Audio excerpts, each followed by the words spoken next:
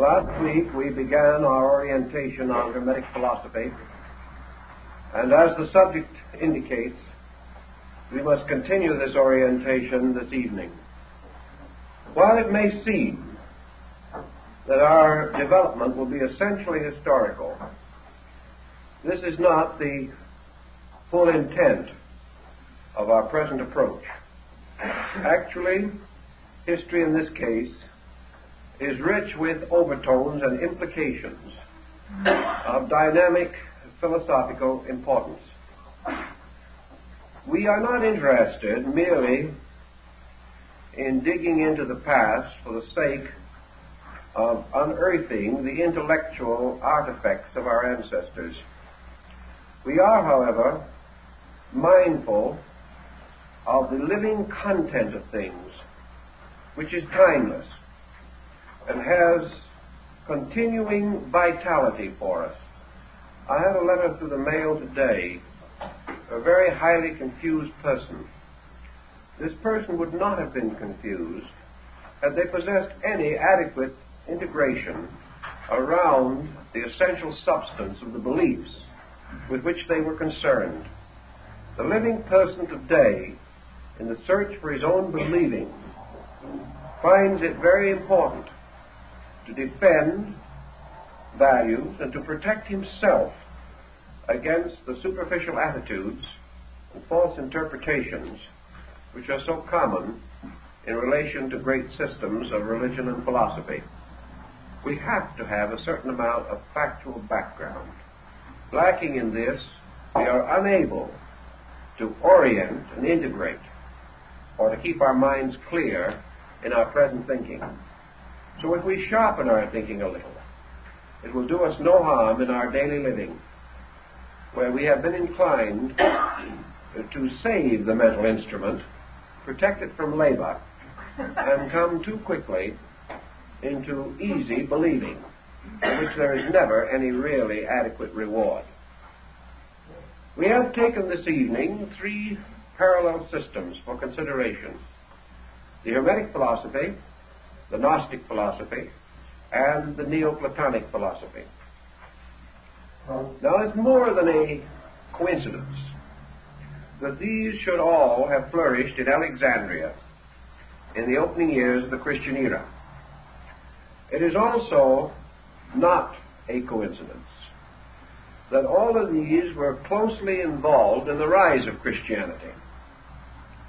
Nor is it by any means accidental that in a strange way, as St. Augustine points out, these three sects were in large measure responsible for Christianity. Now, this does not mean he did not certainly intend to imply that Christianity had merely copied these doctrines. Rather, that Christianity, confronted by three schools of the magnitude of these, was forced to make very definite plans of its own it was forced to overcome at an early date as many of the divisions within its own structure as possible. It required a united front against a world that was not ignorant, not stupid, and not gullible. It therefore was a challenge, and it was this tremendous challenge that to a large measure resulted in the final Council of Nicaea and the Christianizing of the Western Roman Empire. It had not, had it not been for these sects, it is very likely that Christianity might have dissolved in its own internal discords. But confronted by these large enemies, it gathered its resources, defined its position ever more clearly, and finally came to a condition of ascendancy. Thus they formed the adversary, which sharpened the wits of the early Christian fathers and caused them to give much more scholarly attention to their own doctrines than might have been their original inclination. So we have these three schools, and the order of them we should also consider. Uh, for antiquity, the Hermetic philosophy was probably slightly the elder. In other words, it probably arose slightly earlier than Christianity, 100, 200 years possibly 300. It also extended downward through the Christian era and down to the 4th or 5th centuries AD. The second uh, in historical descent was Gnosticism, uh, which belongs to the first Christian century primarily. It arose probably not later than AD 30 and continued to exercise a considerable influence down to also to the 5th century AD. The third of this group was Neoplatonism, which probably arose in the latter part of the second and probably somewhat in the early part of the third century AD, and continued to exercise considerable influence until the fifth century. Thus, these three organizations uh, coexisted with the early Christian development. And by the nature of their teachings, this coexistence was again more than coincidental. For when we study these three systems, we observe marked parallels among themselves and to Christianity. The question as to who borrowed from who has always been a moot one, and we will not even attempt to explain and interpret it. We can only say that these persons lived together, that they lived in speaking distance of each other, and that they were united by a common tongue. We know, for example, that St. Augustine was highly conversant with Neoplatonism, and apparently did not hold it in essential disregard, although he publicly criticized it on some occasions. Actually, a large part of his own philosophy was certainly influenced by Neoplatonic thought. Trying to analyze the structure of these three uh, uh, non Christian groups to determine their essential keynote. What was the essential difference between them? The more you read about them, the less difference you observe. Until a number of writers have practically given up in despair any effort to distinguish their essential doctrines. These doctrines are so close uh, that they are regarded almost as identical. Actually, they are not identical because each presents a particular perspective about something uh, in which they all have a common interest. The principal foundation of the Hermetic arts must be regarded as scientific. Hermetism, or Hermetic philosophy, was a science. And as it developed, it developed strongly along scientific lines until in the Middle Ages, Hermetic philosophy became the synonym of chemistry. It was based upon a series of exact procedures. It was mathematical, and it made very little use of factors uh, beyond the comprehension of the average person although it did have certain abstract teachings. These abstract teachings, like Buddhism and Confucianism, were rooted in natural phenomena. They were rooted in familiar things, in common everyday occurrences. In this, the Hermetic school borrowed considerably from the Egyptian. For while the Egyptian had a very deep mysticism, his mysticism was always clothed in the familiar forms of natural phenomena his uh, after-world state or after-death state, for example, the Elysian fields. Uh, well, this paradise was very similar to the Delta of the Nile. In fact, there was very little difference. Here, the celestial blessed did not rest forever, but had their proper cattle and plowed their fields just as they did on earth. The only thing is that the difference between the terrestrial Nile and the celestial Nile was essentially that the celestial Nile never failed, whereas the terrestrial Nile sometimes did not rise appropriately and there could be famines in the land. But the heavenly streams, sustained and protected by the gods, meant forever that there would be prosperity in the, in the blessed world, and that everyone would have enough to eat, everyone would enjoy the advantages of good living. Now, there's no doubt that the Egyptian priests and philosophers went beyond this point, but it is also an evident part of the daily religion of the people. And Hermetic philosophy has a relation to this. It also went far beyond materialism, but it never went beyond the concept of a universal law. It never transcended the idea that divine procedures were mathematical, that cause and effect were inevitable. That uh, the progress of the human being came through the mastery of certain sciences. And of course, the science of sciences was that of life itself. Therefore, Hermetic philosophy emphasized life as an exact science, a science of human generation and regeneration, a science of human perfection. And the Hermetists believed and affirmed that the keys to this science, like the advanced formulas of mathematics, were reserved to certain persons who advanced themselves uh, in these subjects and had become entitled to receive the great instruction. Thus, everything moved forward on a very orderly procedure. The Hermetic School was a kind of university in which the students advanced from grade to grade according to their abilities. This was a strong point in favor of the school, but also the secret of its ultimate dissolution. The average human being, having reached mature years, does not want to go to school. He does not want a way of life that is dominated by a procedure of constant learning. He feels when he has reached a certain degree of intelligence that he should go out and enjoy himself. Therefore, the Hermetic science was essentially restricted to those of scientific instinct, not necessarily of scientific attainment, but individuals who like to approach life as an exact problem a mystery to be solved by the instruments of science. And we must not overlook the fact that the instruments of science available in those days were better than we believe or generally accept. We were not uh, living in as dark a time as the modern historian would depict. The um, Hermetic philosopher had many instruments. He had already received the great arts and sciences of Greece and Egypt was already a master of liberal arts. He already had many instruments by means of which he could attain his end.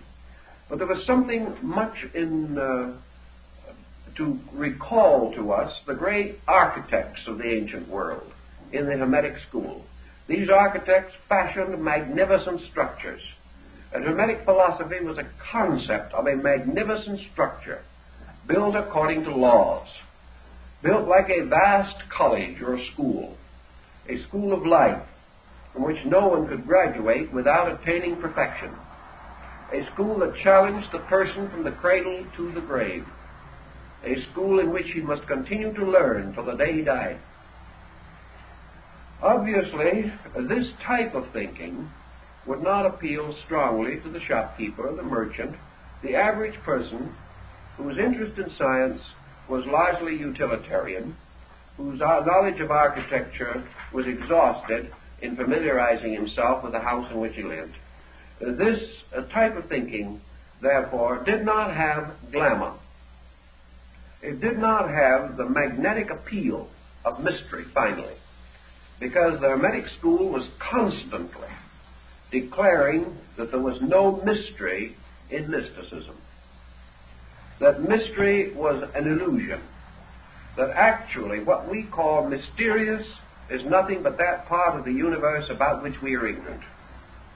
That there can be no real mysteries, and the person growing up is not a magician, not a wonder worker, is a scientist, gradually familiarizing himself with laws and keeping them and gradually developing a great ethical, spiritual code based upon these laws.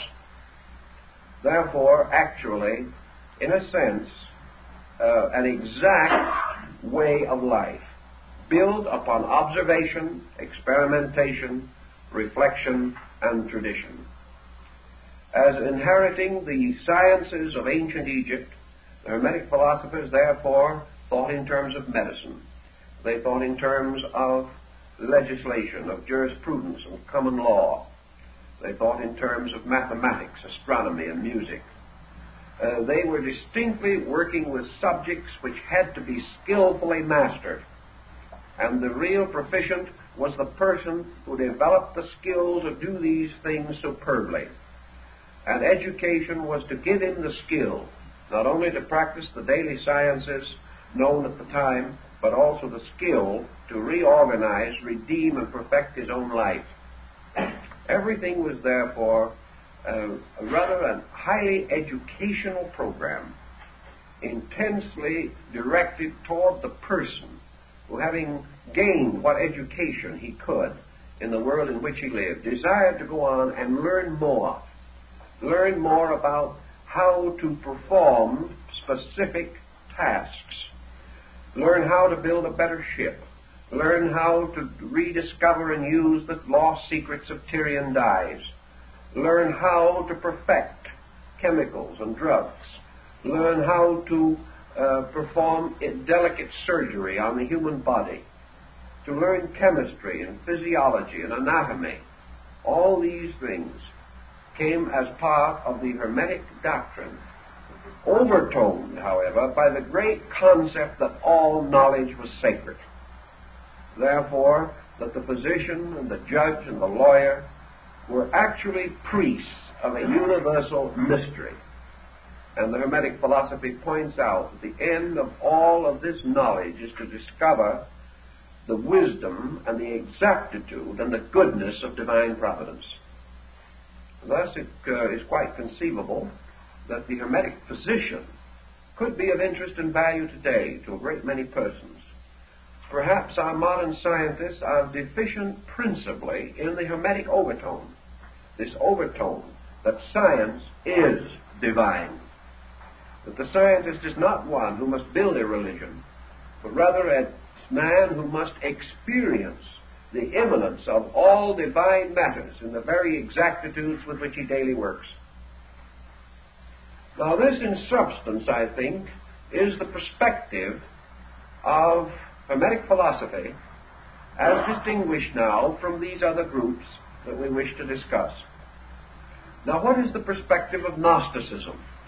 Not long ago on Sunday morning, we gave a discussion of the Gnostic ideals of Valentinus. Uh, therefore, we will assume that many of you heard that. We will digest it a little, but try to cover the ground for those who did not hear this lecture. Gnosticism, which arose in both Syria and North Africa, in the uh, first century, within the first 30 or 40 years of the Christian era, had one peculiar disadvantage from the beginning. It was never a completely united system. Gnosticism was always at least a three pronged instrument.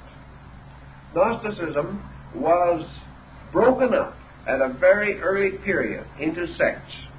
In fact, what we know as Gnosticism together uh, altogether, it is practically a union of sects initially divided.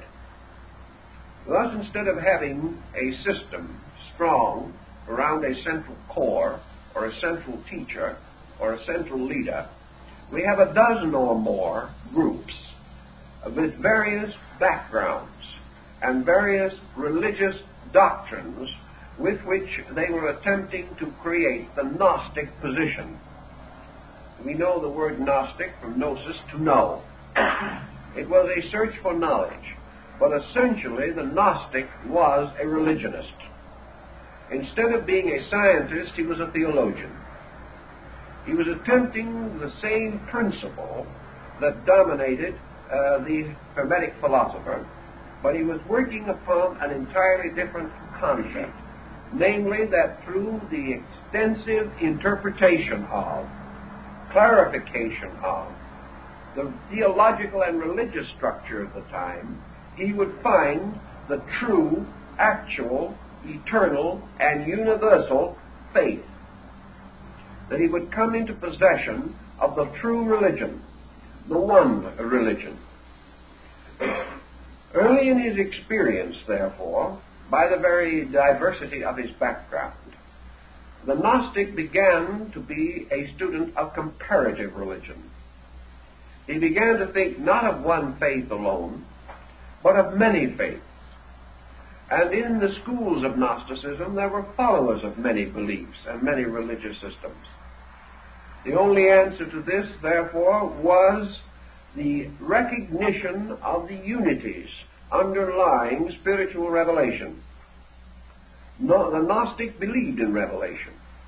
He believed that the final source of knowledge was the power or grace of God bestowed upon him so that he might know as an inner or spiritual certainty those things which could not be comprehended by the intellect. Therefore, he practiced visions. He practiced certain forms of magical rites and ceremonies. He invoked deities.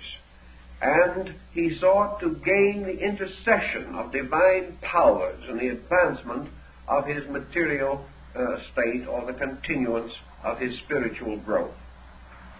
The three great schools of Gnosticism that have descended to us, the Syrian under Simon Magus, the Egyptian under Basilides, and the other Egyptian school under Valentinus, constitute only three of probably nearly a dozen branches. These represented again, however, a very peculiar level of thinking. If the ancient was not inclined to be scientific in a large way, he was not also inclined to be theological in a large way as the Gnostic understood the term. For example, the average Roman, the average Alexandrian, the average Egyptian or, or person of the area certainly could not discourse learnedly on comparative religion. Western man could hardly do it until the last few centuries. It was not common for the believer in those days to have any interest in beliefs other than his own. As we mentioned last week, the state religions, uh, the various gods ruling areas and provinces, uh, formed the background of the theologies of local groups. They seldom went beyond these. And it had, had it not been for Rome, probably the whole concept of comparative religion would have been greatly delayed. But the Roman Empire, by conquest and colonization, forced this study upon the dawning mind of European man. Gnosticism, we will say then, was represented by little groups, probably a hundred little groups, divided into eight or ten schools. These little groups consisted of a teacher, something like an Oriental yogin or master of the Vedanta system, a saintly person. This saintly person was surrounded by disciples.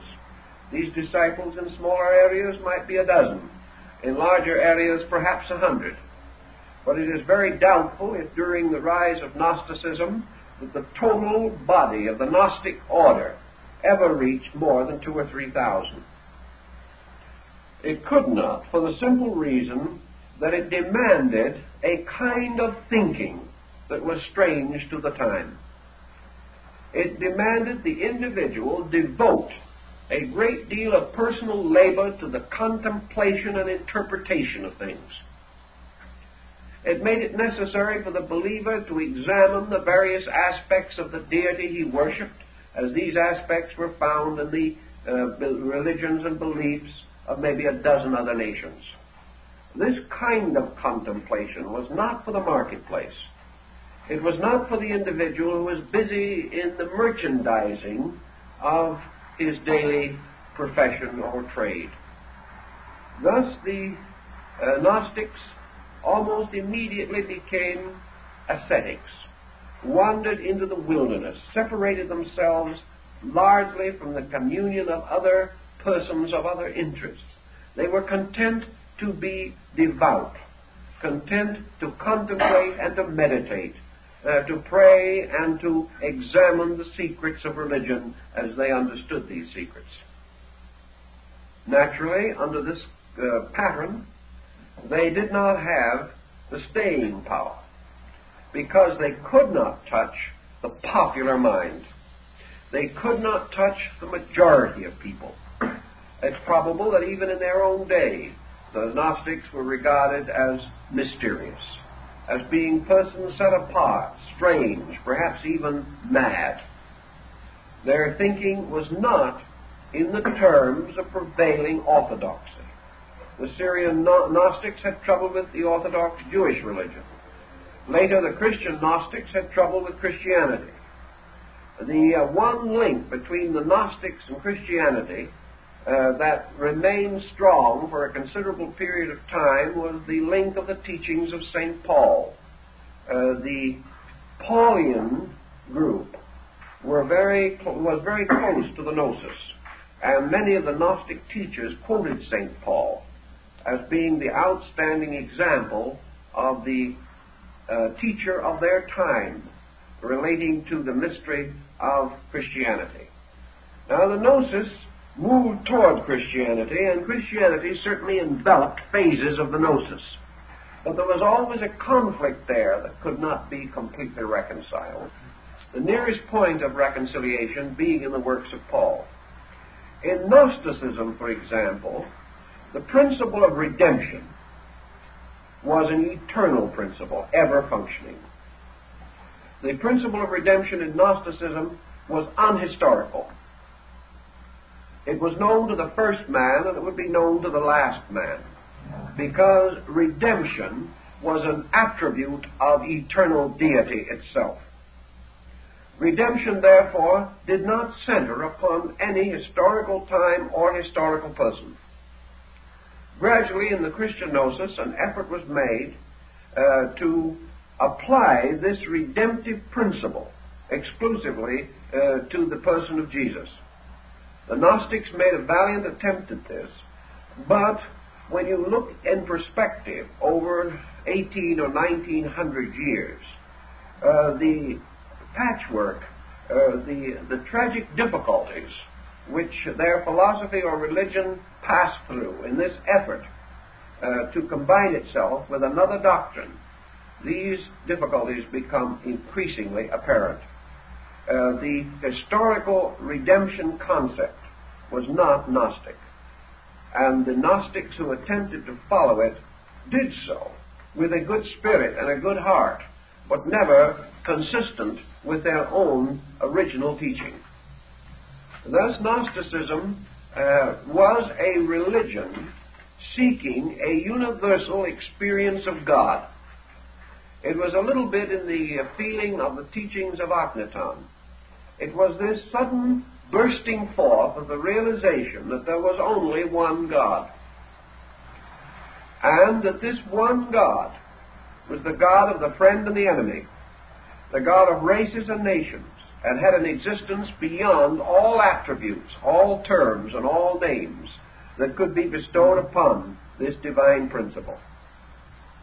Immediately, the Gnostic deity begins to emerge, and we are in the presence of a universal, eternal, unchangeable principle of mystery.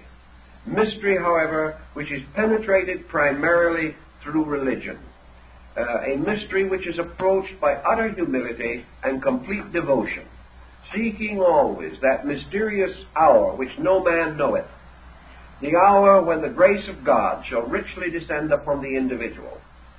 Now, Gnosticism, having created a perfect God, or having conceived one, found itself upon the horns of a dilemma, because from this perfect God it must explain an imperfect universe. It must proceed to develop the idea of how this God could produce less than itself. How this deity, forever wise, forever good, forever beautiful, uh, could be responsible for the confusion which existed even in Alexandria in the first century. Because, after all, man's confusion, like his living, has been eternal. In order to explain this mystery, Gnosticism assumed or expounded what is called emanationism. This emanationism is of Platonic origin, but its uh, relation to Plato gradually uh, vanished uh, as a factor in thinking. This emanationism is to the effect that as this resplendent and magnificent divine power, perfect and effulgent in all its parts, is the radiant core, source, and heart of things. Its radiance extending outward forms a kind of halo or nimbus. And this first brilliant uh, nimbus surrounding the mysterious, unknowable core of things, the Gnostics called nous, or mind. They declared, therefore, that mind was the revelation of that which was beyond the mind and above mind, and that the creative works of the world were accomplished by a mind suspended from a consciousness, that this mind was subservient to that consciousness, and that this mind ultimately returned to that consciousness, either in the form of the individual mind or in the, co- the collective universal mind. Then this effulgency, continuing to radiate outward, like the streamers of the corona of the sun, gradually radiated further and further into darkness. And as it radiated, it became weaker and more diffused, until these emanations of light uh, became less and less powerful and were ultimately absorbed, dissolved, or eaten up by the darkness of space. Therefore, imperfection constitutes that part of existence or creation in which the rays of the central consciousness are not strong enough to control or to blaze through and reveal themselves. And the absolute circumference of existence is matter. And matter is that part of life in which the light has been absorbed until it is no longer obvious or apparent. The Gnostics, being essentially dualists, then affirmed uh, that what we call matter is essentially the principle of evil. That evil is this darkness. Evil is the victory of space over spirit. Victory is the, uh, this victory is the inertia, which is at the extreme circumference of action. It is not a central inertia, but a circumference inertia in which, as Plato points out, if you stand close to the light of the candle, you can read the book. But if you are 20 feet from the light of the candle, you can no longer read the book because the light is not strong enough. In the same way, if we stand close to the nous or the source of light, we can read the book of life. But if we are far removed from it, the light is not strong enough and we cannot read.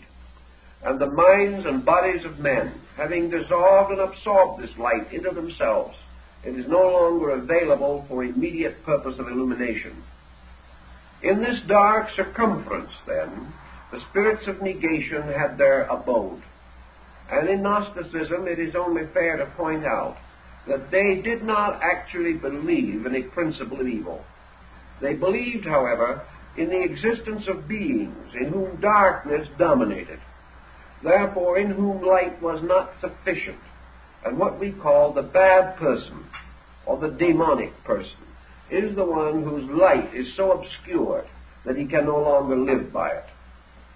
Thus, uh, the Gnostics had a, a, a, very handy and convenient framework upon which to develop a very complicated system of analogies. They were able to prove that the impoverishment of light is the cause of darkness. They were able to demonstrate to their own satisfaction therefore, that materialism is simply the impoverishment of light.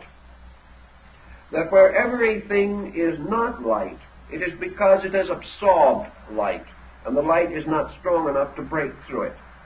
Under the Gnostic system, therefore, the great purpose of life was to release the light, was that the individual, through a decision or determination of his own mind, must choose to free the light in himself. He must dedicate himself to such work, such labors, and such, such processes as would so purify and redeem his nature that the light could be released. Thus, all growth was a release of the divine life from within things. This, this concept was also derived from Plato. Uh, but the Gnostics developed in, it into their very complicated eonology, in which they conceived of man gradually by various disciplines, refining himself, choosing to separate himself from darkness, uh, choosing to overcome the ignorance, which was the opacity of himself, so that the light within him could shine through, and that he could release the imprisoned light, so that this light could return to the source of light, the divine aeons from which it came. In order to achieve this, according to the Gnostics, the presence of nous, or the divine mind, the firstborn of the eternal, gave the discrimination, gave the insight, uh, gave the aspiration and the rationalization necessary to liberate man by an action of his own will. By means of mind, man is therefore forever at the gate of liberation.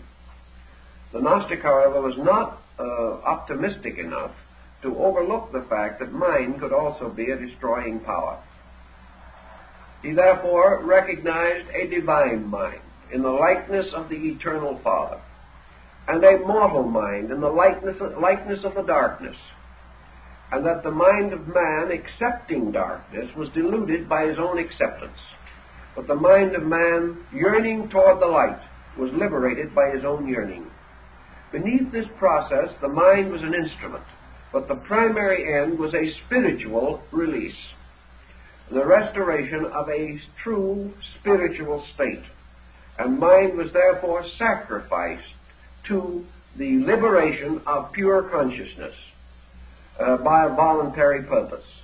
And the achievement of this purification actually represented a series of Gnostic baptisms.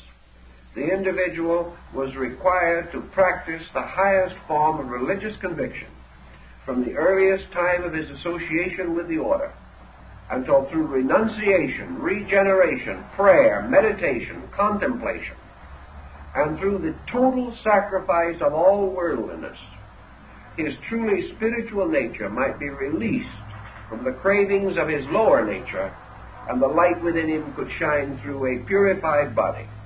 Purification in Gnosticism was to be attained by the practice of the spiritual way of life.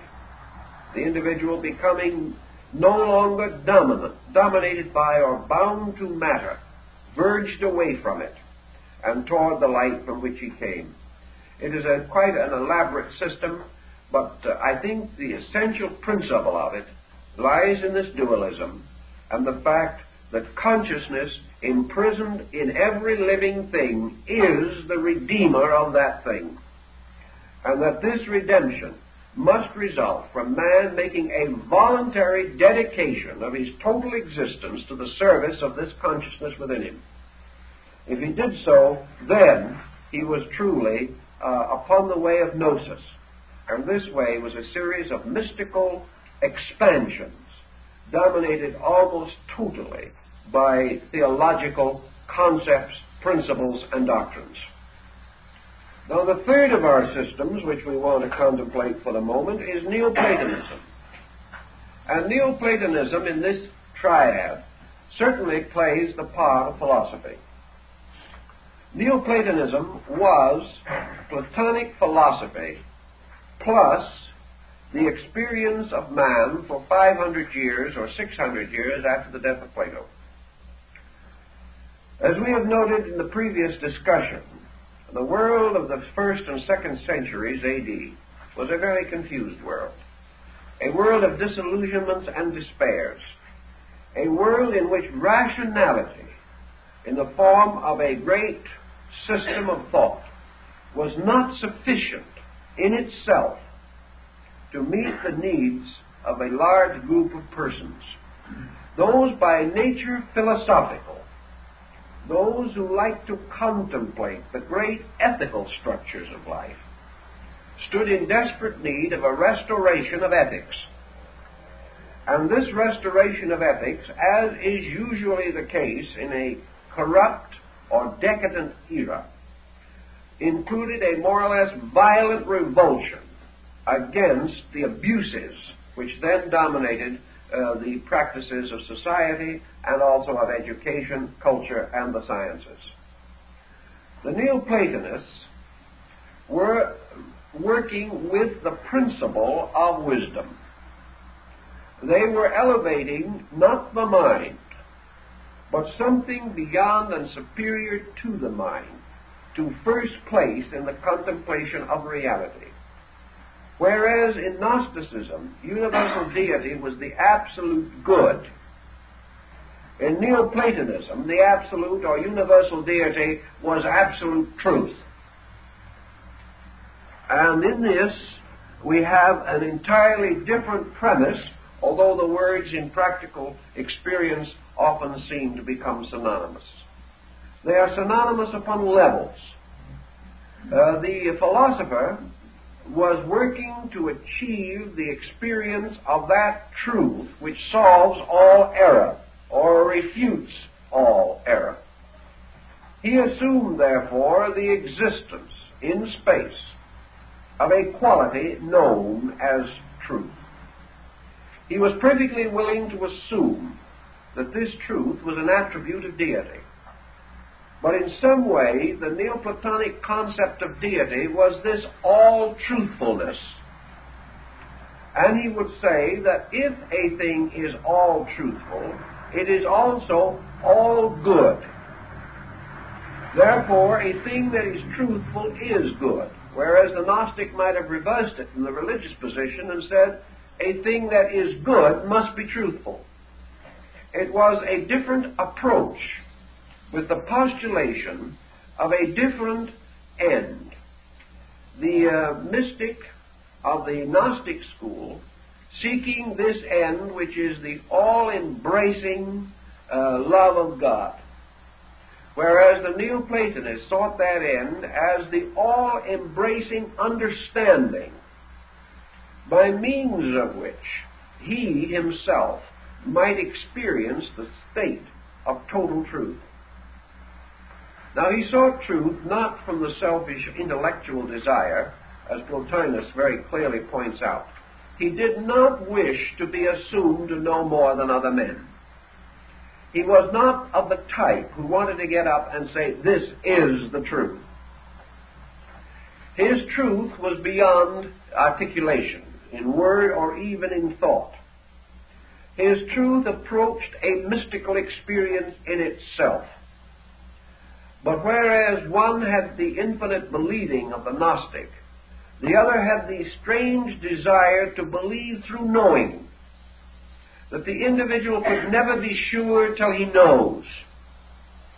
Therefore, the development of the power to know until this knowledge revealed all things knowable and all things necessary represented largely the Neoplatonic position. Neoplatonism arose then as an effort to link the philosophy of Plato with the need for a spiritual, emotional experience of truth. Uh, this uh, experience of truth could not be merely the transference of information. No individual could say to another man confidentially, This is the truth. Even if it was so, and even if the statement was true, there could be no communication of truth apart from, an, from a dynamic experience which involved the immediate sense of internal knowing on the part of the person to whom the so-called truth was communicated. Truth could never be anything worldly. It could never be the truth about planets or comets or the tides or the seasons. This truth had to be the all truth, which was man's experience of the true discovery of his relationship to everything that exists, including himself. And in order to have this experience, he must also have the full experience of the wonderful world structure to which he was intimately related. He must not only think of God and about God, he must think with God. So, Neoplatonism was this search for truthful thinking, thinking with the mind of God. Thus, as the uh, Hermetic philosophers might have assumed God to be absolute law, and the uh, Gnostic school, absolute good or absolute virtue. So in the uh, Neoplatonic school, God was the continuous state of absolute knowing. God knows all things. God is a state of eternal knowing without center or circumference. That which knows all things notes also the sparrow's fall. God is a universal knowing beyond mind, a knowing which is seated in the heart mind structure of every creature, so that man is capable of a kind of knowing that is without mind, a kind of knowing that is strangely passionless, and yet when experience is a total experience from which no part of the being can escape and which causes afterwards the individual to say, with a strange finality of revelation, I know. Yet this same person could not say what he knows, because his knowledge is not of things, but of the eternal value which lies beneath all things. Thus, knowing in Neoplatonism is practically and uh, functionally this internal power to know value, uh, to apperceive or apprehend essential essence in things, and to experience identity with essence. Neoplatonism, therefore, would follow in the Buddhist concept that while man seems to have a mind, and seems to have a knowing power. He is actually knowing with the mind of God, whether he knows it or not. And this mind, which seems to be his, is actually an eternal mind, the eternity of which he has not recognized or accepted. Thus, Neoplatonism carries with it a certain pattern of acceptances. Acceptances of the presence of value where it might not immediately be suspected. Now, what was the structure of Neoplatonism in relation to some of these problems with which we are concerned? It is not difficult to realize that when we start talking about essence and knowing, and the power to know apart from the power to think, uh, that the Neoplatonists left the larger part of the Greco-Egyptian world behind them. They were thinking in an entirely different dimension also from their contemporaries. Furthermore, although Neoplatonism had within it a large number of the elements of a religion, it was not essentially religious. It was essentially a descent of the great idealistic philosophy of the classic Hellenes. As a result of this, it lacked many of the elements of glamour. St. Augustine, analyzing it in his own time, held that as far as value content was concerned, Neoplatonism was entitled to become a world religion. It had a tremendous contribution to make, and even Augustine admitted it. But he declared that it could not accomplish this. First of all, because it did not have anything to focus the public mind. It had no appeal. It lacked, as, he, as Augustine pointed out, the first essential of a religion, namely an heroic personality, uh, preferably a martyr. That only around this concept have religions successfully been built. The second thing it lacked was a, an offering of a perpetual state of bliss or a perpetual state of illumination to the average man. It did not offer to the average person very much probability that in his lifetime, in the common affairs of his daily thinking, he would be likely to achieve to this state of knowing. It must again be reserved for the person who is willing to dedicate his life, his resources, his time, everything that he has, to the prodigious examination of himself and of his universe, and the contemplation of internal wealth, the wealth of idea, the pure wealth of contemplative induction. Uh, this type of thinking certainly could not be popular. Also, again, not only was Neoplatonism a minority group, uh, but it drew around itself only a limited number of scholars, most of them not glamorous, very few of them understood, and all of them inclined to express their ideas on so abstract a level of dissertation or of oration or of uh, writing, such as the Enneads of Proclus or Plotinus, that they simply were not comprehensible to the average person.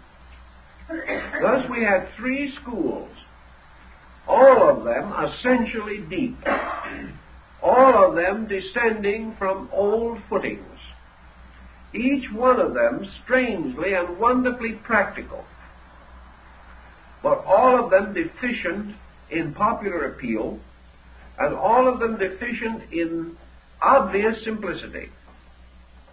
Too complicated, uh, too recondite, uh, not uh, suitable to move masses.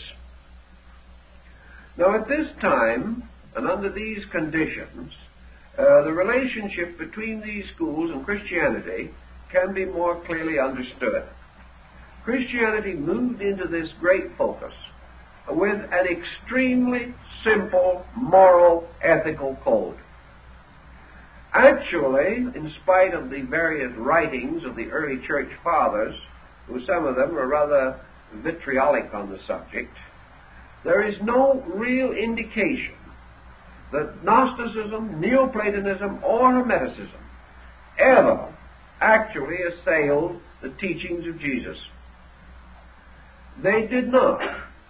They were quite aware of the ethical integrity, the simple and tremendous vitality of these teachings. Each one of them, perhaps in its own way, could have proven these teachings far better than the church theologians could have proved them. Each one had a deep sympathy for the essence, but each was composed of a type of mind that also belonged in a, in a minority group. First of all, these three groups were made up of persons living out of time in a strange way. Uh, perhaps the Neoplatonists were born 500 years too late. Perhaps the Hermetic philosophers were born a thousand years too soon. And perhaps the Gnostic had the unfortunate misfortune of being born at a strategic moment when other things were more important than his own ideas.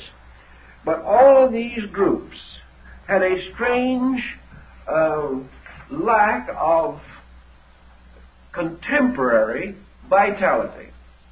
They were deep. Many of them had descended from the old mystery systems. They had within themselves sciences and forms of knowledge that should not and did not die. But not one of them was in a position to step into the great human tragedy that was moving the face of the Near East and the Mediterranean area at the time. They could not console the average person under loss, under pain, under misery. They did not have this power of direct approach. They could take the ignorant man and educate him. They could take the unlearned man, and if he wanted to become learned, they could teach him. But they could not take the average person and console him where he was as he was. And because of these situations, the groups fell into a minority relationship to the rising power of Christianity, which had a tremendous appeal to a very large group of persons under misfortune who wished consolation, who wanted something upon which to build hope and faith immediately, something to sustain them in a very heavy crisis. Now, what neither the church nor anyone else could know at that time was that the history of Europe and Western civilization from the beginning of the Christian era to the present day has been one constant sequence of crises. There has hardly been a moment in which the immediate need for consolation was not present. Thus, the old scholarly motions uh, fell further and further back, away from the popular mind. And uh, one by one, these older groups or their descendants uh, lost popular interest. And uh, we can say that this situation repeated itself continuously throughout history.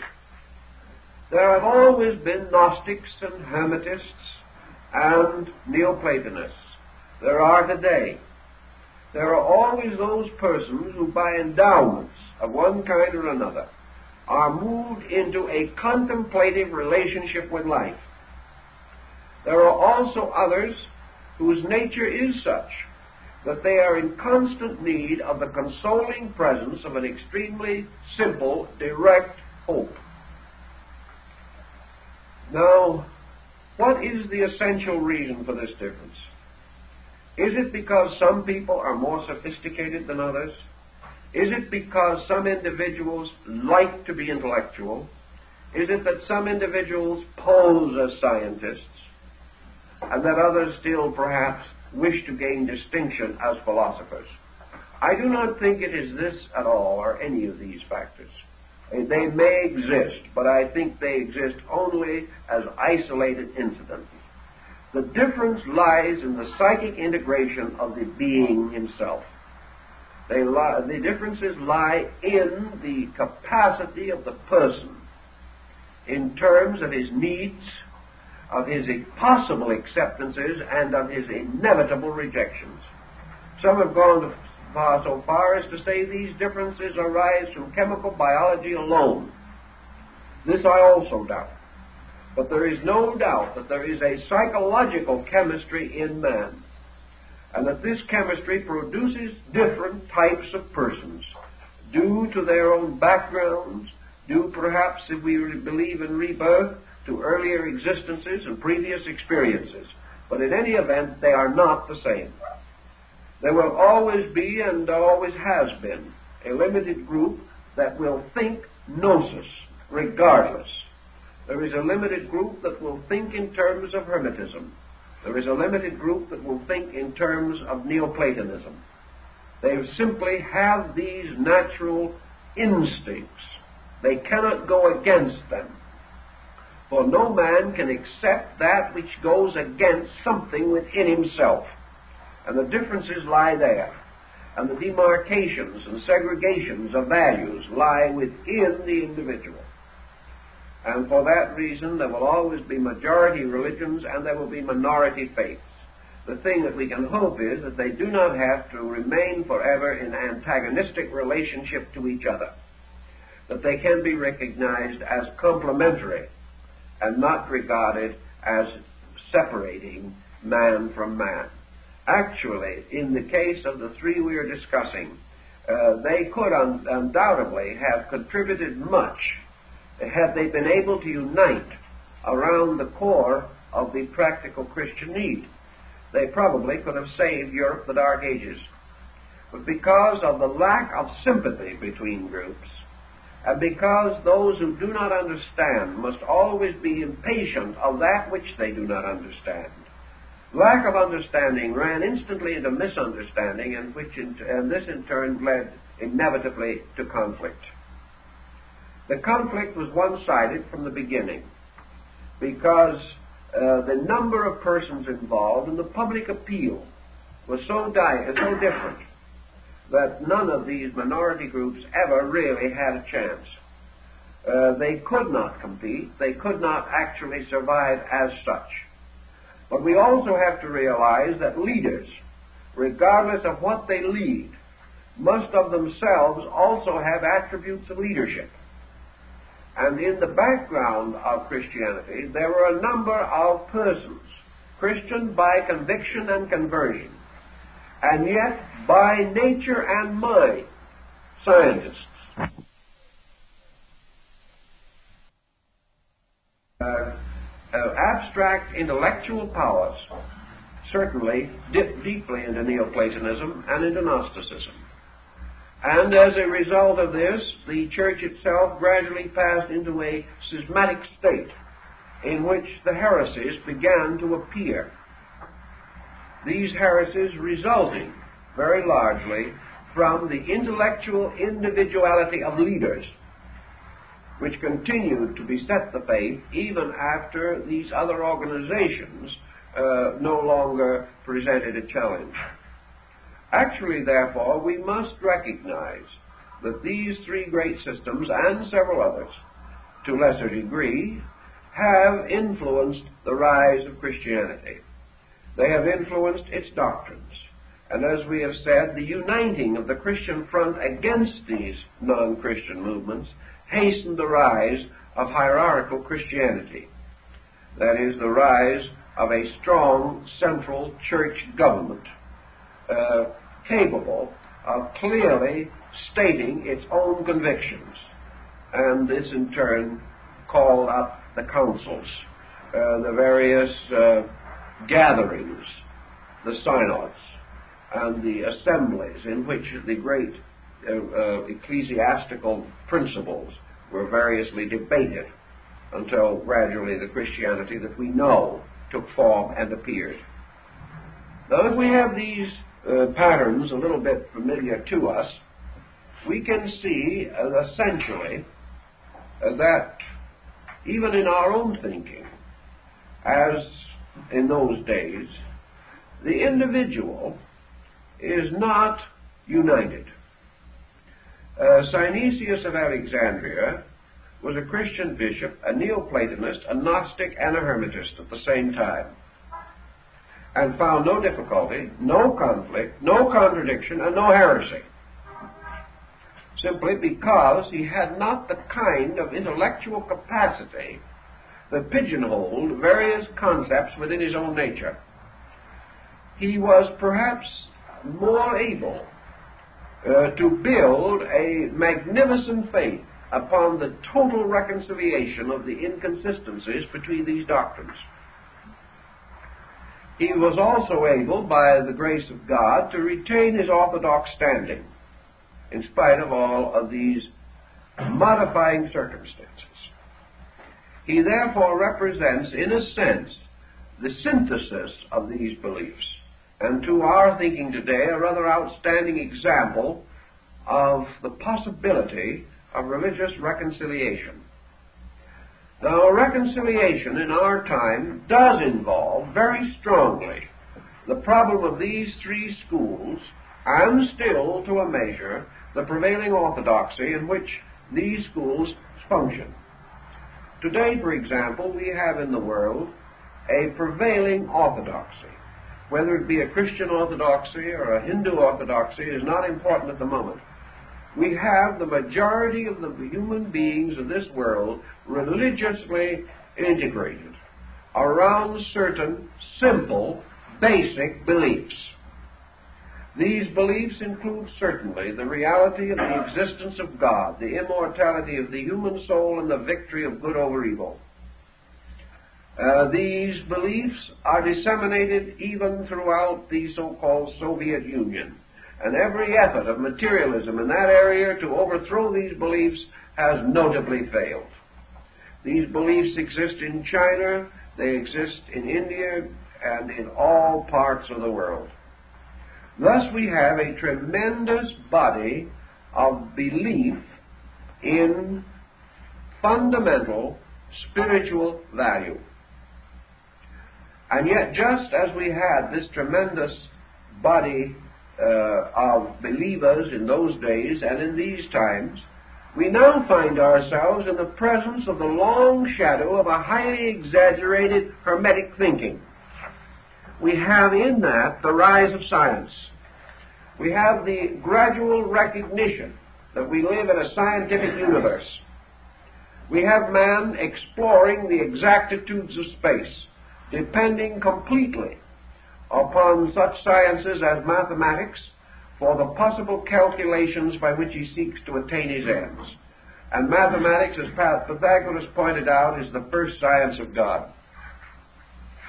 Thus we have an excessive intellectualism which has not yet achieved the Hermetic position, namely that knowledge is suspended primarily from God as fact, the inevitable thing as it is, that God is total reality, and that this reality is the totality of all things known and unknown. And that no matter what we can ever know, we can never discover that which destroys the fact of reality. For all knowledge is the triumph of reality over superstition or ignorance. Thus, the infinite universe of realities, of facts, of scientific procedures, this universe is held within the tremendous principle of all fact, all reality, all procedure. And this principle is alive.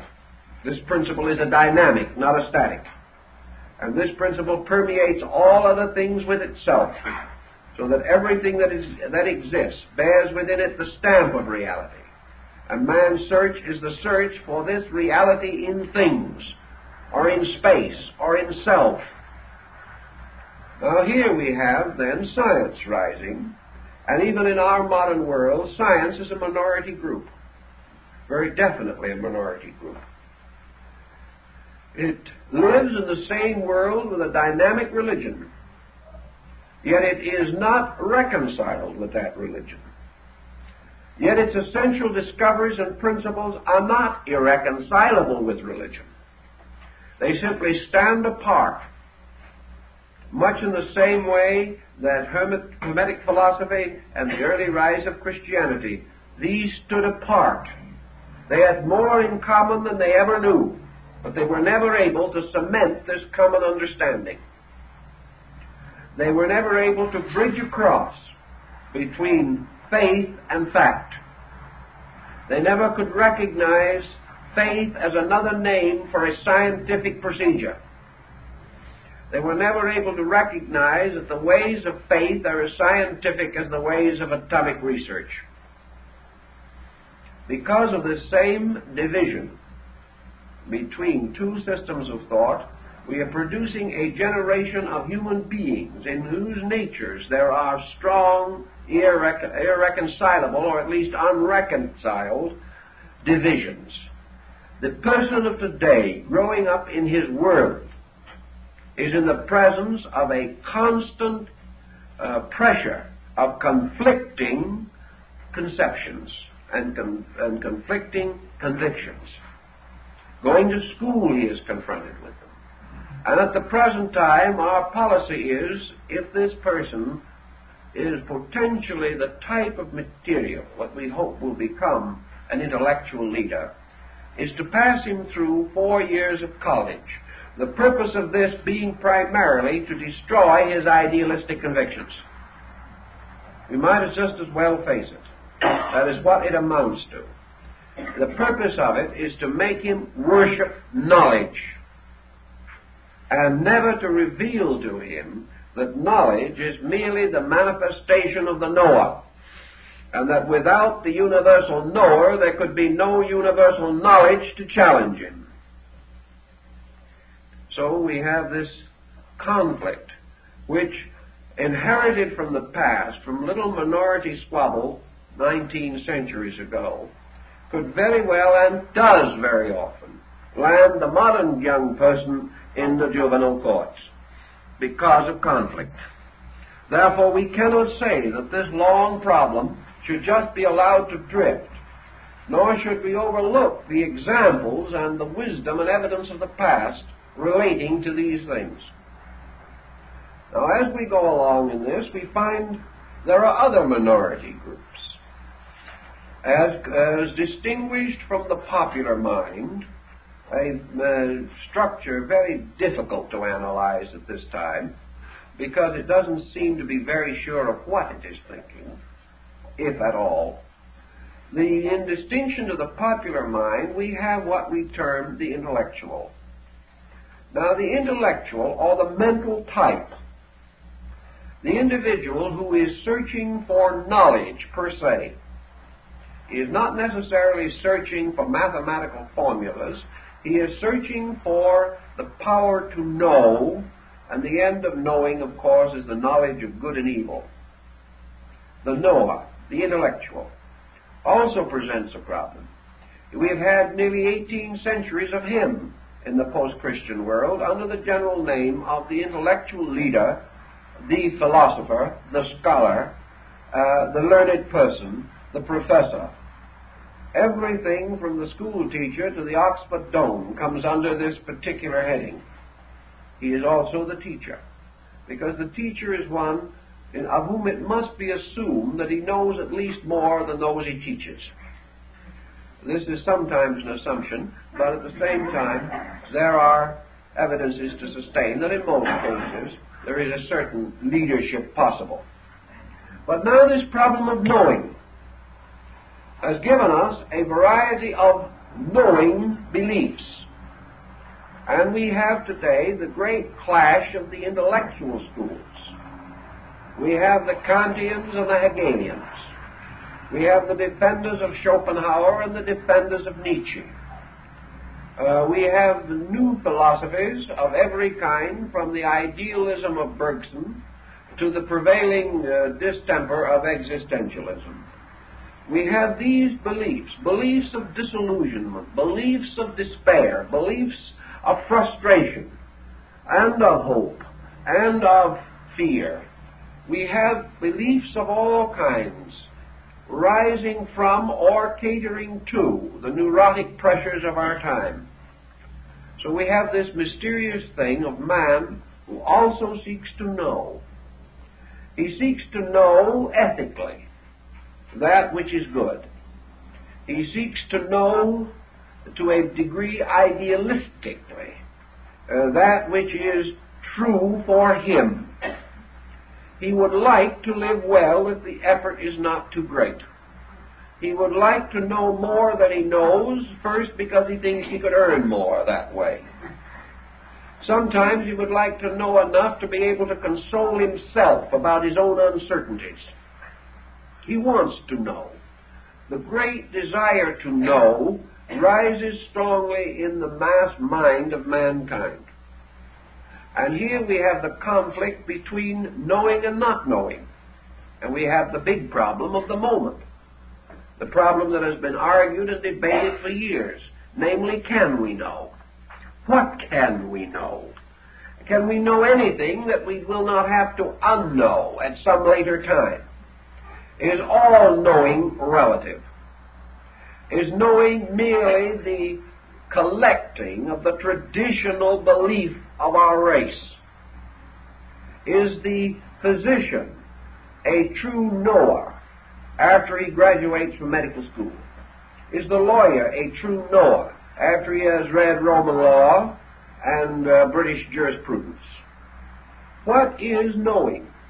Is it the individual familiarizing himself with the past, with other beliefs, with the statistical material available on the subjects that interest him? Is this knowing merely the handing on of report? And we have this very strongly in education. And Neoplatonism points out that the fallacy here is that all knowing must ascend. That the end of knowing is that man shall truly know the truth and that the truth is something that is apart from particular knowledge. You, a man may discover something of truth by learning to play the piano. But if he does not add this concept to something else, he will become a musician, but he will not become a truth knower. The truth is something total and that all education must in some way strive for this totality, but it does not know how. Thus, there has to be this truth that sets us free instead of this neo truth that keeps us in bondage. The Neoplatonist answers very simply that the only solution to this problem is to recognize that man partakes in his own nature not only of the attributes of truth possibility, but the very substance of a living truth fact. That the truth resides in the innermost parts of the conscious life of man, and that the great journey of the individual is from ignorance to truth, and that truth is something supreme, something infinitely sacred, something absolutely divine and that therefore the search for truth is essentially uh, identical with the search for all realities with which the human being is concerned. The individual who attains to the state of truth has discovered why he should live well and how he can live well. There can therefore be no truth, as, the, as Plotinus points out, that does not produce a change away from error in the actual life of the person who attains it. A person can be educated and still unmoral. A person cannot possess truth or be possessed by truth and be unmoral. The individual can become learned and still be dishonest. But the one who attains truth cannot be dishonest. Therefore, truth is a transforming, living thing. And that which attains it can never function inconsistently with that which it has attained. On this grounds, all knowledge is at the moment inadequate, for we have no form of knowledge which compels us instinctively, inevitably, and irresistibly to right action. We know much and still have to struggle with our own conscience. We know exactly what we should do, but we haven't the courage to do it the truths we so call possess are not dynamic enough to give us the vitality for the fulfillment of themselves in conduct. This is the great burden of uh, Neoplatonism, and it is certainly the burden of Confucianism. For Confucius said, the superior man is one who is incapable of an inferior action. It isn't one who doesn't perform it because he knows better. It is the one who is incapable of it. Because the instinct which has given him this superiority moving from within himself is irresistible. It is moving from the same or deeper source from the, or as the source or as the cause of his previous difficulty came from. He is moved from within to compromise. When truth is his, he is moved from within not to compromise. And he will always follow inward motion. And the reason why he does not do well always at the present time is because inward motion does not impel him to do well. So truth now becomes to Neoplatonism the irresistible, redeeming, regenerating, civilizing power and nothing can be said to be true that does not change people for the better. It may be a fact that the uh, tides are affected by the moon. It may be a fact that there are certain formulas by which atoms can be split. It may be a fact that they have been split. But unless the discovery of how to split atoms carries with it such a tremendous spiritual experience that the person who splits the atom can never, from any motive or reason, permit that knowledge to be used for anything but good. Unless that is there, there is no truth, regardless of the fact. Truth must be the power that makes us do things well and do that which is good. For the end of truth is to know that which is good and therefore to possess both the knowledge and the dynamic to perform that which we know. This is the danger pointed out by Neoplatonism in relationship to education. And their cry, their problem, their premise is just as sound today as it was then. And because they were a minority sect and at that time were neglected, those who say the same things today are a minority sect and will be neglected. But that which is said is nevertheless true. And whether it is accepted or rejected, as Neoplatonism points out, truth is unmoved, like the old American Indian proverb that is said to have been inscribed around the walls of the study of King George V of England. The moon is not frightened by the baying of wolves. That which is does not change, regardless of whether it is accepted or not accepted. Thus, Neoplatonism has its offering of today. Man searching for the dynamic of truth. And if he searched for the dynamic of truth as industriously and as patiently as he has sought other things, for instance, his knowledge of atomics, he would today not only have a great science, but a great morality to control it, which he does not have. Now, what is the contribution of Gnosticism to this little pattern? Here is the third group. This group working on an essentially religious level. The purpose of Gnosticism is the direct search for good. And in this search for good, we come to another problem uh, that confronts the modern world. And that is that with the Gnostics, and certainly with the attitude that they took, we have a large proposition confronting us to find out what is meant by good. The Gnosis says until we know what is good, we can never do that which is right. What is good? What is this tremendous power of things at the root of existence?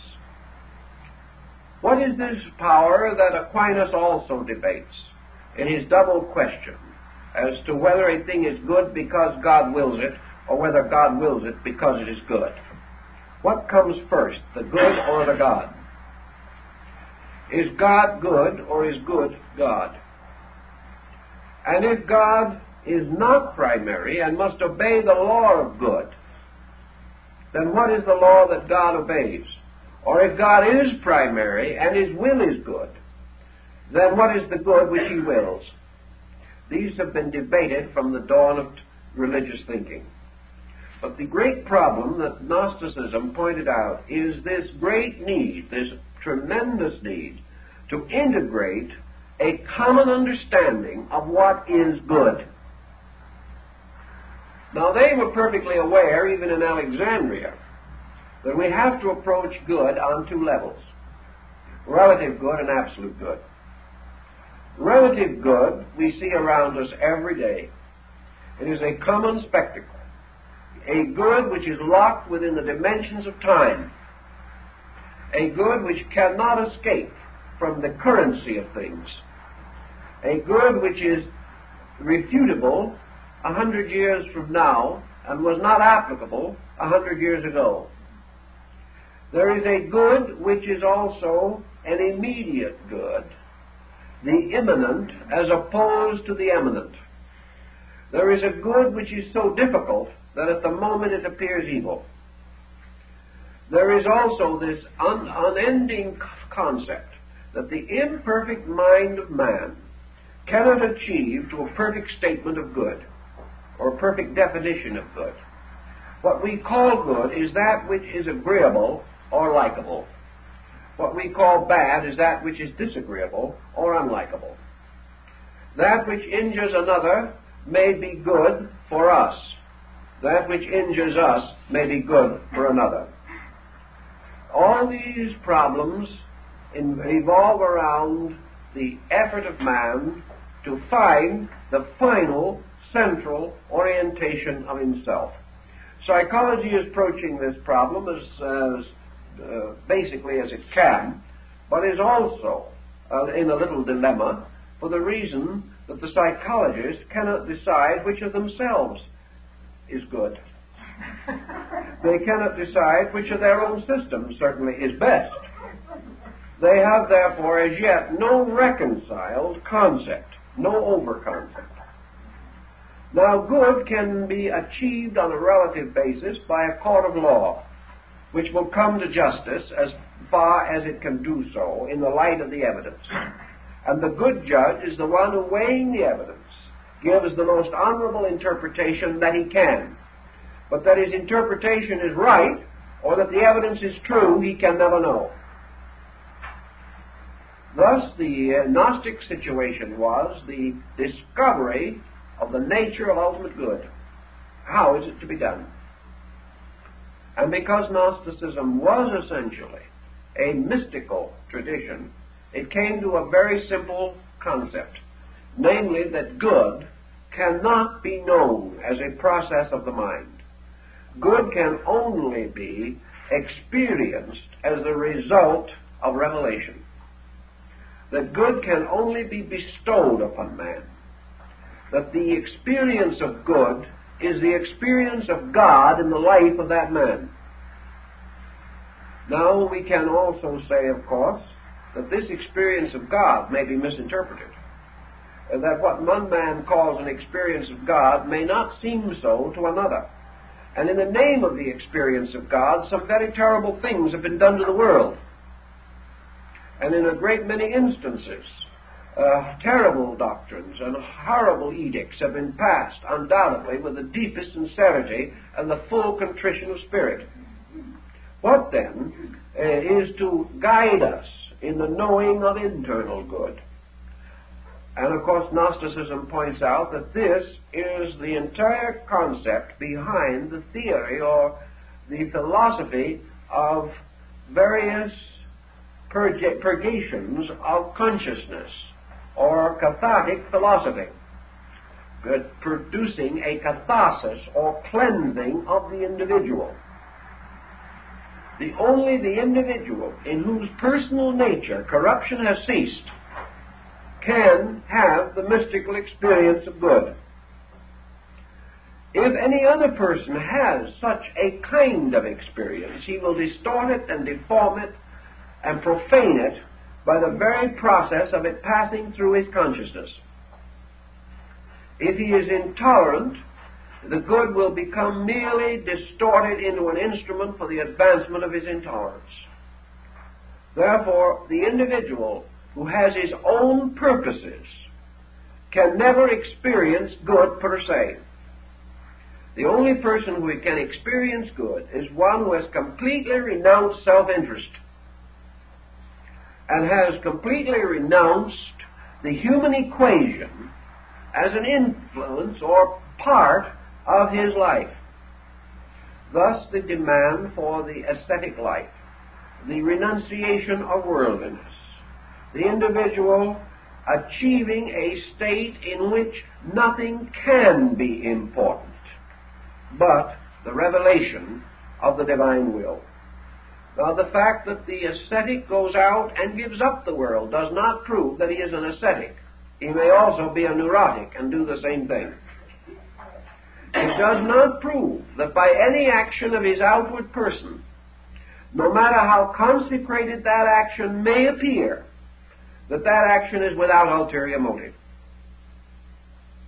Thus, in the Gnosis, uh, the, the, point was very clearly uh, made that only through years of testing and of trying, only through the most diligent application of principles, the, the most total and complete analysis of self, and the final renunciation and rejection of everything that is ulterior within the self, can the individual come to the point in which he may depend upon the purity of revelation. But revelation, again, is a relative thing. And revelation, or the experiencing of the good, can come to many kinds of persons. We will not say necessarily that it is complete, any more than Gnosticism affirms that it is complete but it can be an extension of our present realization of good. Now, the proof that it is a revelation and not an hallucination arises also from the consequences of it. At the moment, uh, there may be no way of testing and here we come upon a point which has been made much of since Gnosticism and also in psychology, but it is essentially a point in gnosis. And that point relates uh, to the individual who receives a revelation of some kind. Instinctively, he falls under mechanisms.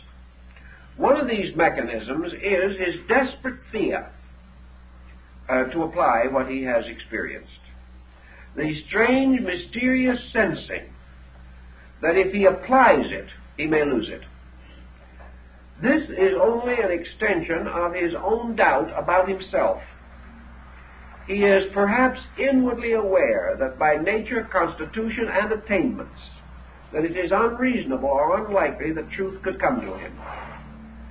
As long as he does not apply his revelation, he can always cling to it and hold it to be true. But if he applies it objectively and observes that it does not function correctly, if by application it disproves itself, then this individual is deprived of the support of a spiritual conviction within himself. So he is inclined to be careful not to apply. Yet in Gnosis, the first problem emphasized is application. The truth is revealed, it must then be applied. And if it is true, it will operate. And it will operate constructively. And it will produce nothing different from itself under any condition. If it is true, it will increase truth. If it is untrue, it will increase error. The individual, therefore, whose truth does not produce some kind of good, has no truth. In this thinking, the search for good is therefore, in a sense, the search for harmlessness. It is the search for value, which again produces within the individual a condition of integration or homogeneity of effort. And as the Gnostic Valentinus points out, the true experience of the good is most quickly tested by the fact that it produces the harmless person who is at the same time certain of his own conduct. The individual who by instinct cannot perform an action contrary to good revelation flowing out through the person is evidenced by a greater measure of good. And in our level of thinking, there are good things which we hope for. They may not be ultimate, but they cannot be deficient in any state superior to themselves. Therefore, we can say that kindness is not an ultimate good, that there may be good beyond it. But if that kindness is real, that ultimate good cannot be unkind because it must not be deficient in any of the lesser forms of itself. Therefore, a kind of attitude of good which leads to cruelty of conduct cannot be good. A revelation which leads to intolerance cannot be true. Because here is an assumed greater good in violation with a common good which experience has justified. Now we can say that absolute truth might violate everything less than itself. It will not violate anything of its own nature. It can only violate that which is contrary to its own nature. A greater sense or knowing of good may elevate our discrimination about all things. But good cannot make a person destructive. And anything which can is not good. And all excuse to the contrary is not valid. Because destructiveness, as Gnosticism points out, is a causation which sets in motion a sequence of further destructiveness and that all of this destructiveness must ultimately be washed out by ultimate good. That therefore this destructiveness forms the adversary which opposes good. In our daily thinking, which must be on the moderate level, we also, all of us, have some intuitive, conscience sense of good. And this good has been for the most part sustained whenever we have been able to practice it.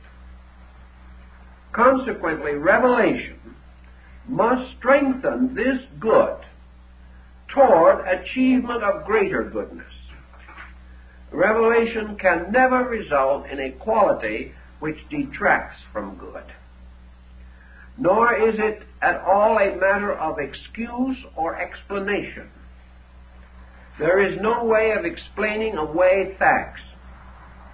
That which causes injury causes factual injury, and no rational integration or rational interpretation can justify the act of destruction. Therefore, in the neo, in the Gnosticism, the purpose always is to measure the achievement of the gnosis in the terms of the unfolding harmlessness of man. Now, wherever we have had religious intolerance or harmfulness caused by sincerity, we have nearly always found that it is associated with too limited a perspective towards values. And wherever the, uh, the effort to be true and to be right has led to trouble, it is because the troublemaker was devout but not intelligent. Therefore, good must also in, indicate or prove the presence of increasing ability to administer the power of God. The individual who achieves a spiritual value receives with his inner understanding a sense of use it is not possible for an individual to say, for instance, as people have come to me and said, I've just been illuminated, what did it mean? You can't have such a situation. Inasmuch as an extension of consciousness is an extension of meaning and cannot exist apart from it. And any extension apparently of strange phenomenal circumstances not accompanied by an appropriate extension of understanding must be regarded as delusional of some kind. The individual cannot grow inwardly without improving his total nature. Though the Gnostic pointed out that the search for good becomes the supreme career of the truly devout person, for in his effort to serve God, his only protection is his own enlightened understanding. It is the only way in which he can preserve the honor of deity. For if in a benighted, fanatical manner he even tries to serve God, he will disgrace that which he serves. So all service involves man's growing ability to comprehend the good and to act according to the comprehension of the good which he possesses thus opening the way for the increase of this factor within his own experience consciousness. Now here we have these patterns then, adding up to the problems of our time, coming down to us uh, as directive, as, uh, for instance, concerned with such a question as where will we all be as a civilization, as a people, a hundred years from now. Not necessarily ourselves, we may not be present, but our world collectively thinking. Where will this world be if we lack directives? If we continue to have no more internal resource than we have today, what will our external achievements do to us? And that was the question that the Gnostics were asking, and the Neoplatonists and the Hermetists 2,000 years ago, or nearly so. What are these directions without directive? They simply mean drifting along lines of opportunism or retrenching against immediate disaster without plan, purpose, program, or any design suitable to achieve lasting results. Now, as our primary purpose in this series is not only to compare these teachings, but to point out primarily the Hermetic position in preparation for a study of the actual Hermetic literature itself, I think we must come back now to their premise, the scientific premise, in which they reached out and actually enclosed a large part of both Gnosticism and Neoplatonism. at least the masters of the Hermetic schools, intertwined their teachings with those of these other schools and also with the system of Christianity. Christianity perhaps played a less important part in their thinking than the other schools for the simple reason that Christianity was an obvious thing. When you uh, say to someone, uh, do good to others, or be honest, or be kind, or uh, or be brotherly, you do not challenge the scientist, nor do you challenge the philosopher. If he is a person of values, he admits that this is true, regardless of what the logic behind it may be. He might be able to spend ten years and develop the scientific explanation, but it would still only support something so obvious and so undeniable uh, that the, uh, there would be love's labor lost. There would be nothing gained by such an endeavor. Therefore, these schools sought to work with problems not quite so obvious, but which must ultimately arise in the course of growth. Because in the course of growth, everything that is concealed must be revealed. And growth is the unfolding into the obvious of things not obvious.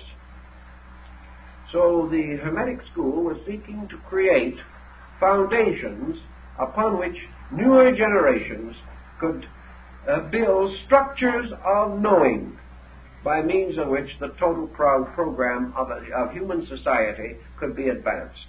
They did not intend that these programs of knowing would ever interfere with a Sermon on the Mount or any of these essential convictions of Christian mysticism. Uh, they were simply seeking for more exact instruments of knowing in specialized fields of endeavor. Now, as we go into the alchemical phase of this, which began probably in the 6th or 7th century and continued on down to the rise of modern chemistry, Hermetic philosophy was distinguished from the beginning by its byproducts. In addition to its principal theme, it inspired innumerable investigations it inspired the alchemist to make all kinds of experiments in his retorts and in his laboratories. And I have seen lists of practical products that we use today uh, that uh, is very impressive. A very long list, hundreds of items, every one of which represented a disappointment to some alchemist. He was searching for the elixir of life or the mystery of the transmutation of metals, and he came up instead with a new formula for soap. Uh, it didn't quite work out as he intended, but he did make a valuable contribution. They locked uh, one alchemist uh, in a basement and fed him through a hole in the door of his cell until he was able to make gold. He never managed to make gold, but he discovered the formula for Dresden china. All kinds of things have been found by those looking for something else. And uh, Hermetic philosophy has therefore indirectly contributed a great deal, practically all, of the basic knowledge of chemistry that we possess, and hundreds of byproducts arising in early uh, chemical research.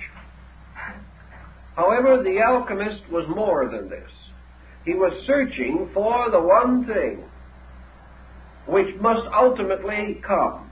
And he was, like most of us, sometimes sidetracked by his byproducts. He was never completely willing to stop trying, however.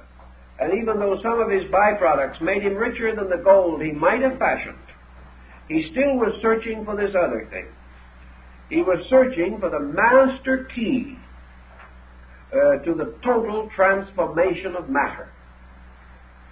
He was convinced that what we call matter is in reality spirit in disguise.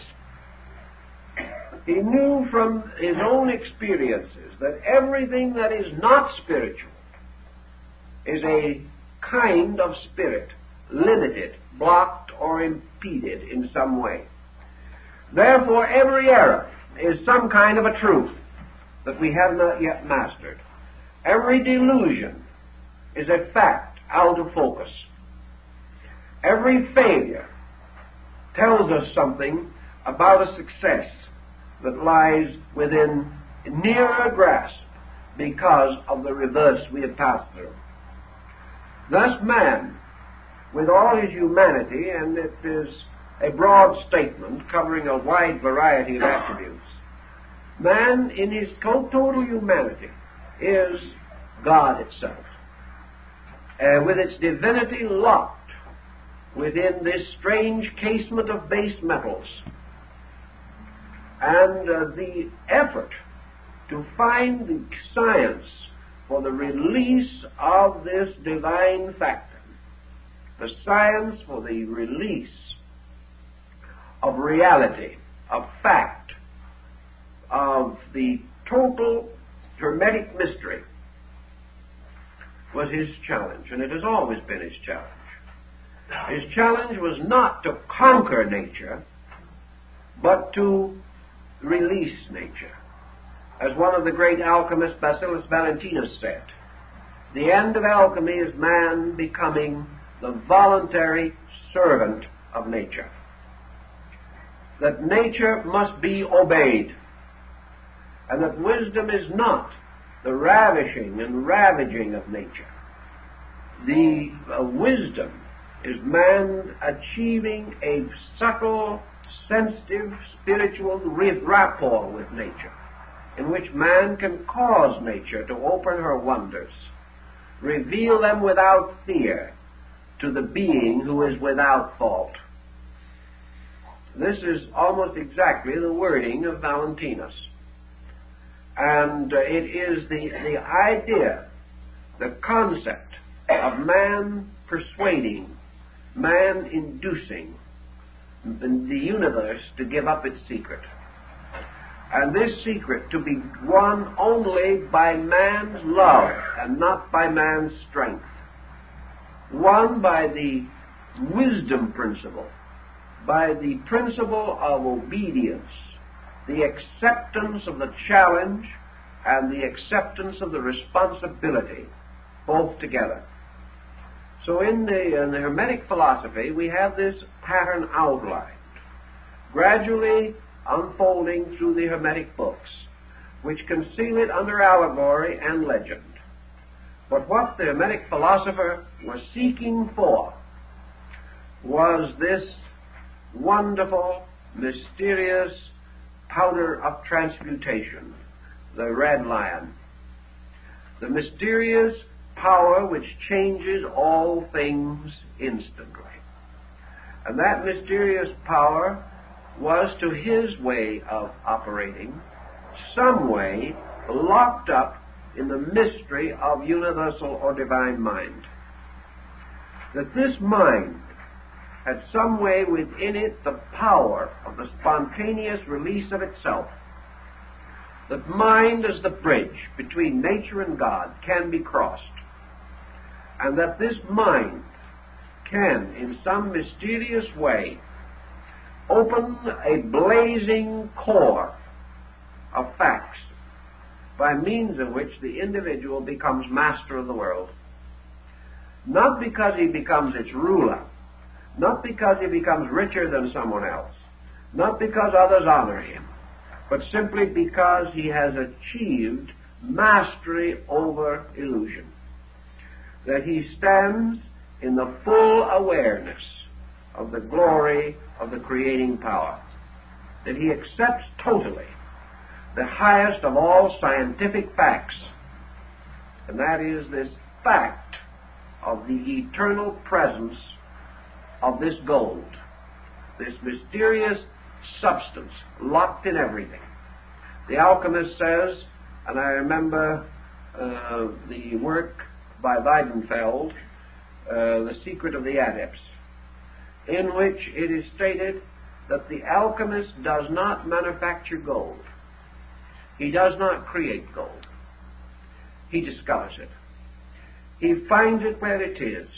He causes it to grow. He feeds it the nutrition that is necessary for its survival.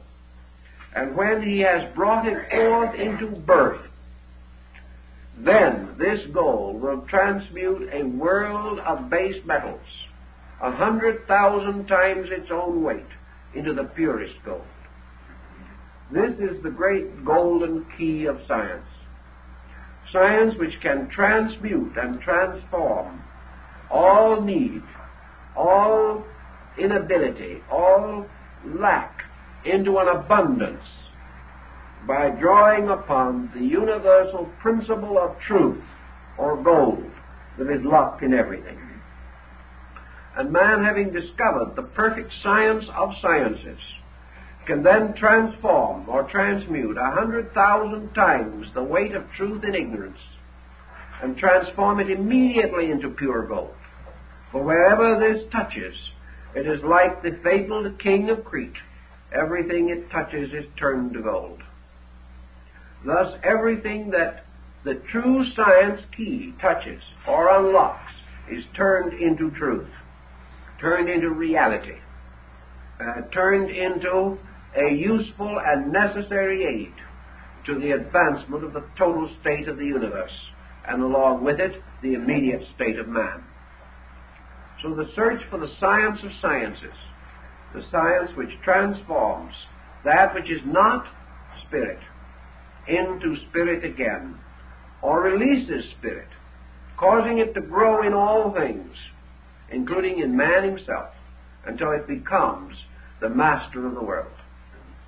All of these speculations were concealed in terms strange and obscure, but changed into modern language and into modern thinking.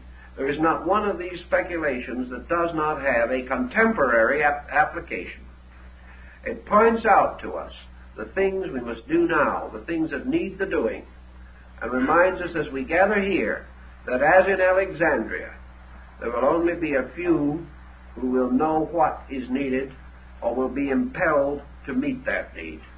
But out of each generation there must be some who will carry on this mysterious golden thread until in the fullness of time the restoration of essential learning can be achieved.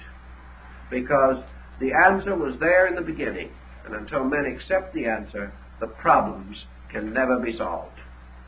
And in these answers that we have suggested, I think we lay a sufficient foundation to go on later with the next step of our Hermetic researches. And thank you very much.